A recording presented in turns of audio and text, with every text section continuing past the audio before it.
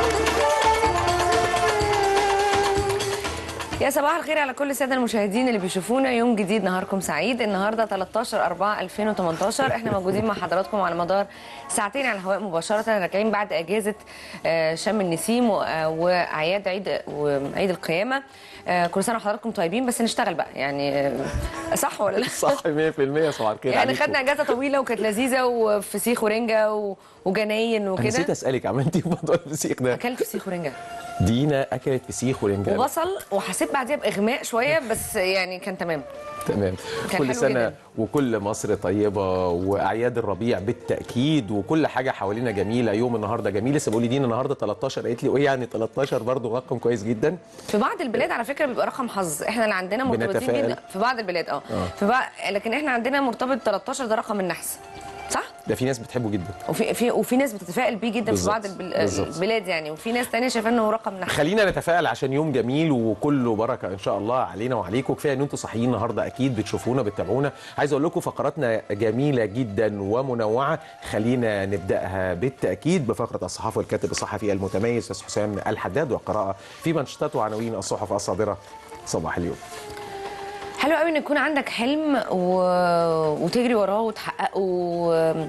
معانا مطربة النهارده جميلة جدا هي حبيبة زهران. حبيبة زهران مش بتغني بس هي بتألف كمان وبتغني بلغات مختلفة بتغني إنجليزي وإسباني وعربي طبعا. آه وبتألف أغانيها وبتلحن كمان. هنتعرف عليها أكتر وطبعا أكيد هتغني معانا النهارده. هيكون معانا زي ما قلت حبيبة زهران. الطريق إلى القمة. العنوان في حد ذاته ملفت جدا للنظر. خليني أكلمكم على الكاتب الصحفي بالتأكيد المتميز أو الكاتب عماد الأزرق. آه الكاتب الصحفي بالتأكيد كلمة الطريق إلى القمة تستدعي الانتباه وتسترعي الانتباه ولكن هيتحدث فيها آه كاتب هذا الكتاب عن قصة نجاح للصين والتنين الصيني والرئيس الصيني بالتأكيد في 30 سنة أو 30 عام الماضية إيه الحدوتة إيه الكواليس. ده اللي نعرفه النهاردة من الأستاذ عماد الأزرق.